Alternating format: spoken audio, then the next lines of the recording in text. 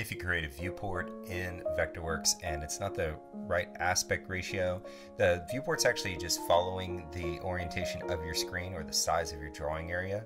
Um, this viewport is a little bit more uh, rectilinear because this was the view on the computer when this viewport was created.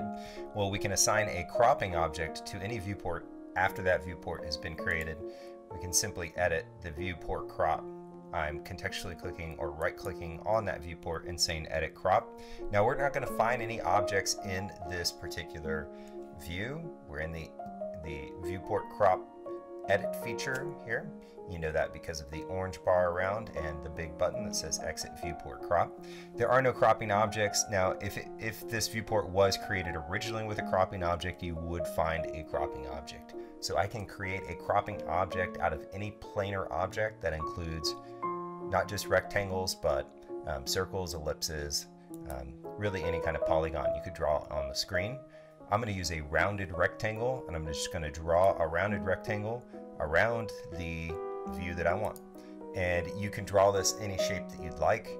Um, you can put a specific aspect ratio into it if you like.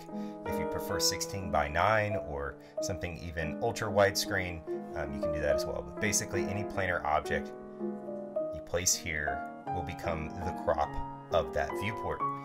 You can only have one object. Keep that in mind as well. So if I exit viewport crop, we see now our crop. This is kind of a neat camera effect. But having that rounded rectangle in there, that looks pretty neat. So we could re-render that to get rid of the candy canes if we like. Update that viewport. And there's our updated cropping object. Thanks for tuning into this quick Vectorworks Spotlight tip from Tangably.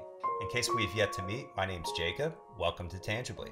If you find this content valuable, please consider liking and subscribing or following us down below. If you know anybody that could actually benefit from this content, please share it with them. It might actually save them a great deal of time.